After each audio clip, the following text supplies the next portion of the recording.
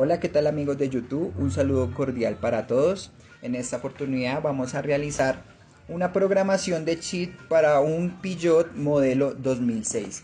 Importante tener la programadora, clonadora de chip, el chip, nuestra llave original del vehículo y de la misma manera el vehículo. Vamos a realizar la programación, abrimos la aplicación de la BBDI, mini BBDI le damos clic en transpondedor, reconoce y clona. Clic en leer transpondedor.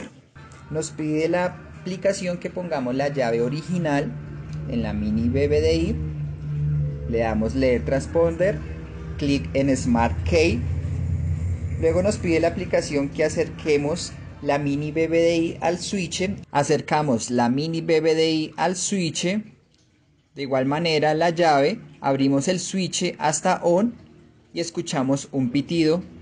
En la aplicación también confirma que la receptación de la información fue recibida. Luego volvemos a poner nuestra llave original en la, mini BBDI. La aplicación nos pide que pongamos el chip nuevo en la mini BBDI. Retiramos la llave original y nuestro chip quedó clonado. Para verificar ya debe estar la llave mm, duplicada. Con el duplicado acercamos el chip al switch, abrimos y el vehículo debe encender.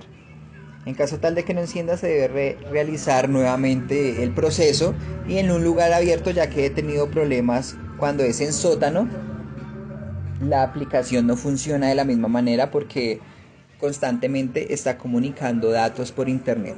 Espero este video les, les sirva a los principiantes y los que empiezan a manejar eh, clonaciones y duplicados especiales.